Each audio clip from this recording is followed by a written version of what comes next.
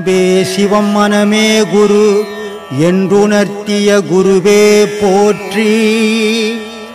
சத்தும் சித்தும் எதுவென்று உணர்த்திய குருவே போற்றி. எனக்குள் இறைவனை உணர வைத்த குருவே போற்றி. நித்திய ஆனந்தமான நித்யானந்த குருவே போற்றி. குரு பிரம்மஸ்ரீ நித்யானந்தரே போற்றி போற்றி.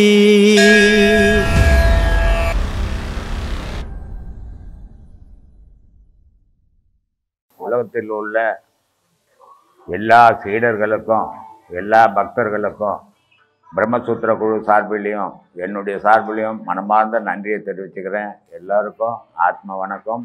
சாய் தர்மா டிவி உலக மக்கள் அனைவரும் தெரிஞ்சுக்கணுன்றதுக்காக அவங்க இவ்வளோ பாடுபட்டு செய்கிறாங்க அவங்களுக்கு நல்ல ஊக்கத்தை கொடுங்க சப்ஸ்கிரைப் பண்ணுங்க. அவங்க மேலும் மேலும் வளர்ந்தாங்கன்னா அது உங்களுக்கு ரொம்ப நல்லதாக இருக்கும். பல நிகழ்ச்சிகள் உங்களுக்கு தெரிய வரும். இல்லைன்னா அது உங்களுக்கு ஆசிரமத்தோடு போயிடும் மற்றவங்களுக்கு தெரியாது. அதனால் இந்த நிகழ்ச்சியை பாரு பாருங்க. எல்லாரும் சப்ஸ்கிரைப் பண்ணிங்கன்னா அவங்களுக்கு ஊக்கமாக இருக்கும். மேலும் மேலும் உங்களுக்கு பல விஷயங்களை வெளியே கொண்டு வந்து கொடுப்பாங்க.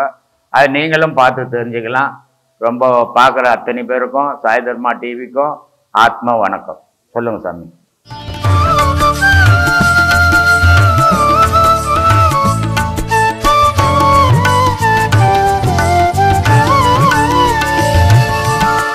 பிறப்பும் இறப்பும் உடலுக்குண்டு பிணியும் மூப்பும் அதற்கு உண்டு.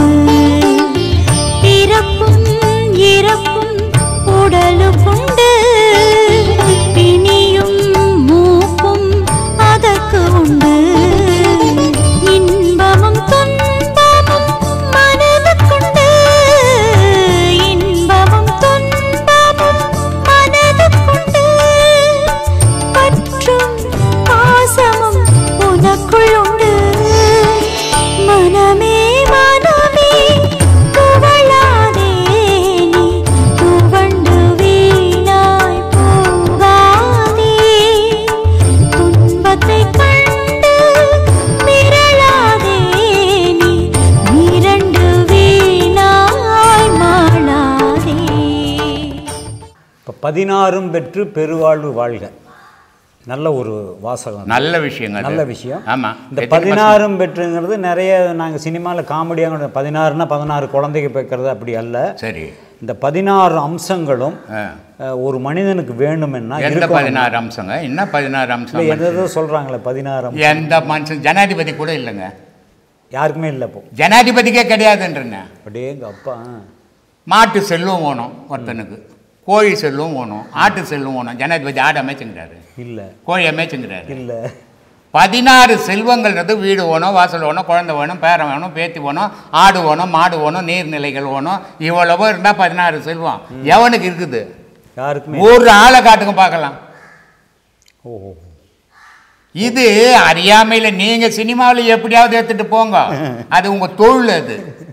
அதை நம்ம ஒன்றும் சொல்கிறதுக்கு இல்லை. ஆனால் பதினாறு செல்வங்கள் பதினாறு கல்யாணத்துக்கு போகிறான் பதினாறு செல்வம் பெற்று பெருவாழ் வாழு.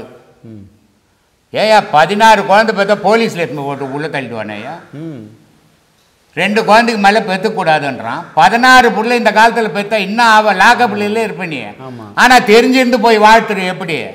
அது இல்லை. திருமணம்ன்றது இன்பத்தை சார்ந்தது. இதெல்லாம் ஜனங்களுக்கு புரியறதில்ல.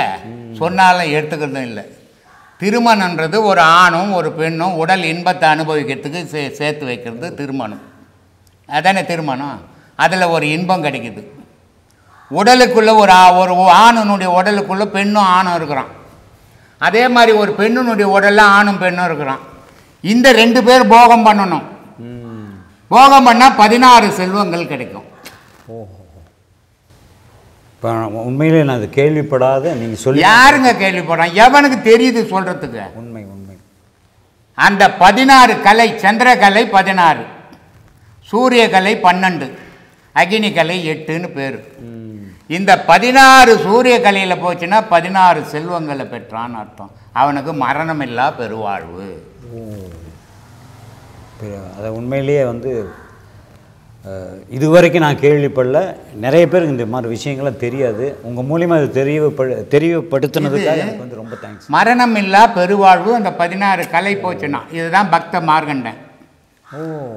பதினாறு கலையில் நின்னதால மார்கண்டனுக்கு யமனால பிடிக்க முடியல. ஆ.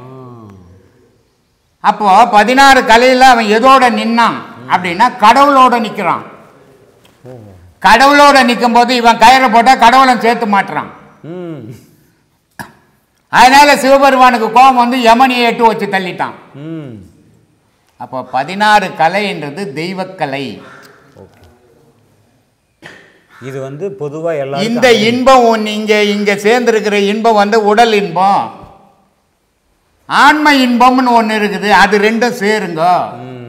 அதுக்காக நாங்கள் வாழ்த்துறோம். அப்படின்னு வாழ்த்துறாங்க. மகான்கள் வாழ்த்துனாங்க. அதை மனுஷன் எடுத்துக்கின்னு வாழ்த்தின்னுக்கிறான் இப்போ. ஓகே ஓகே இப்போ புரிஞ்சுக்கிட்டேன் புரிஞ்சுதா? இவ்வளோ விஷயங்கள் இருக்குதுங்க. சும்மா இல்லை விளையாட்டு விஷயம் இல்லை. அப்புறம் நம்ம இந்து முறைப்படி வந்து தாலி கட்டுறாங்க சாமி. சரி. இந்த மூன்று முடிச்சு. சரி. அது படமாக கூட பாக்யராஜ் இருக்கட்டும். இந்த மூன்று முடிச்சு அப்படிங்கிறது சரி. அந்த ஒவ்வொரு முடிச்சுக்கும் ஒவ்வொரு விதமான காரண காரியங்களும் சொல்கிறாங்க ஆமாம் உங்கள் ஞானப்படி. என்ன காரணம் மூன்று முடிச்சுக்கு ஒன்று முதல்ல வந்து ஏதோ நேர்மையாக இருப்பேன். அஹ், அது கணவனுக்கு மனைவிக்கு கட்டுப்பட்டு இருப்பேன். விதவிதமாக சொல்கிறாங்க ரொம்ப டேஞ்சரான விஷயமா ஆமாம் நீங்க ஆனால் நீங்கள். சொல்லுங்க இந்த மூன்று முடிச்சுக்கு எவனாவது இப்ப கனவு மனைவிக்கு கட்டுப்பட்டு கனவுங்கிறானா கனவிக்கு கட்டுப்பட்டு மனைவி இருக்கிறாளா கட்டைய தடிக்கிறா வீட்டுக்கு போனா துட்டு கொடுக்கலன்னா கட்டுப்பட்டு எங்க இருக்குது அது இல்லைங்க. முப்பொருள் உலகத்தை இயக்குது அஞ்சு பஞ்சபூதங்கள் இருக்குது. ம் நீர் நெருப்பு காற்று ஆகாயம் பூமி. அஞ்சு பஞ்சபூதங்கள் இருக்குதுல்ல அதில் தான் உயிரினங்கள் வாழ்ந்துட்டு இருக்குது. இந்த அஞ்சு பஞ்சபூதங்கள்லேயும் நிலையான பஞ்சபூதம் ரெண்டு. அசைவற்றது ஒன்று பூமி ஒன்று ஆகாயம். ரெண்டும் நிலையாக நிற்குது ஆமாம் இது இடையில மூணு ஏக்குது. ம். நீர் நெருப்பு காற்று. ஆமாம் இந்த மூணு தானே ஏக்குது தானே நம்ம ஏங்குறோம் அது உடம்பு ரெண்டு- அசையாதாங்குது ஆமாம் பூமியை உலகத்தையே வேணாம் நம்மளுக்குள்ளே எடுத்துக்கலாம். தலை அசையாதாங்குது ம். உடம்பு அசையாதாங்குது ஆனால் உள்ளுக்குள்ள மூணு பஞ்சபூதமும் ஏக்குது நம்மளை. காற்று ஏக்குது நீர் ஏக்கு டாக்டர் கிட்ட போனோன்னா சூடு. சூடு குறைஞ்சி போச்சுங்க அவ்வளோதான் வரும் அப்போது இந்த முப்பொருள் தான் நம்மளை இயக்குது. உலகத்தையும் அந்த முப்பொருள் தான் இயக்குது. உண்மை. என்னால் தான் சொன்ன அண்டத்தில் உள்ளது பிண்டத்துலையும் உள்ளதுடா. அங்கே என்ன இருக்குதோ ஏங்குதோ உலகம் அதே தான்டா நீயும். நீ தான் உலகம் உலகம் தான்டா நீ அப்படின்னா. அதனால் இந்த நீர் நெருப்பு காற்று இந்த மூணு தான் இயக்கும். ம். இந்த மூணு தான் உலகத்தையும் இயக்குது நம்மளையும் இயக்குது. இந்த மூணுக்கும் மூணு முடிச்சு. அகார உகார மகாரம் அகாரம்னா நெருப்பு உகாரம்னா சப்தம் மகாரம்னா காற்று இந்த மூணு தான் இயக்குது. இந்த மூணு இருந்தால் தான் நீ நானும் நல்லா இருப்போம். அதனால் மூணையும் சேர்த்து மூணு முடிச்சியாக போடுறேன். அப்படின்னு ஒரு இது. அருமையான தத்துவம். இது என்ன என்ன என்னோட படங்களை எங்கேயாவது சொல்ல போகிறேன் ஏன்னா எனக்கு தெரியாத விஷயங்கள் இருந்து தெரிஞ்சுக்கணுங்கிறதுக்காக தான் இங்கே வந்ததே. ரொம்ப சந்தோஷம். ஏன்னா மேலோட்டமாக ஒரு ஆன்மீகத்தை பற்றி மேலோட்டமாக சில விஷயங்கள் பேசுகிறது எப்பவுமே தவறுங்கிறது வந்து என்னுடைய அபிப்பிராயம் உண்மையிலேயே. ஏன்னா எப்பவுமே தெரிந்தவர்கள் நிறைய விஷயம் தெரிந்தவர்கள் ஞானின்னு சொல்லுவாங்க. அப்படிப்பட்ட ஒரு ஞானி இன்னைக்கு வந்து சந்திச்சிருக்கேன். இன்னும் ஒரு ரெண்டு மூணு கேள்வி கேட்டுறேன். கேளுங்க கேளுங்க.